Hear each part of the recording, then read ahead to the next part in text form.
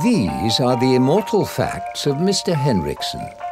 Mechanic, artist, traveller, and above all else, problem solver par excellence. He is the man behind one of the most inspired inventions of modern times. And the key to that invention? I'll give you a tip. It's in your pocket.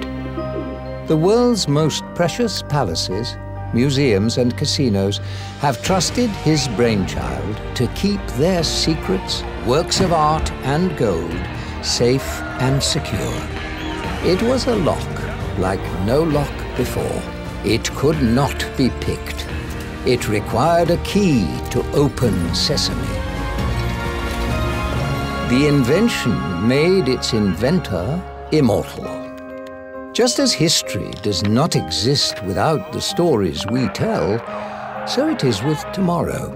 It does not exist yet. We get to invent it. One of those tomorrows turned Mr. Henriksson's lock, well, invisible. And that, my friends, is the end. And the beginning. Abloy over a hundred years of security.